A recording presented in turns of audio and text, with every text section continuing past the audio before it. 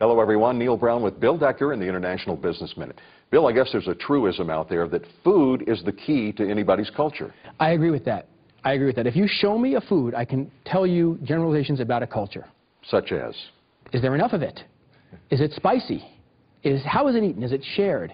For example, if you and I go to lunch, that's your food over there and this is my food over here, and I don't touch your food and you don't touch mine. But if we were in the Arab world, we'd share everything. If we were in China, we'd eat off the same dish. And if you make one of those kind of mistakes while dining, it's probably a cultural insult. And you will make the mistake while dining because most of the cultures actually demand that you eat as part of working with them. I can work with you for 10 years and we would never share a meal together. In China, day one, we're having a banquet. And to do business, that's something that has to be observed. Show me food, I'll show you the culture. Food for thought.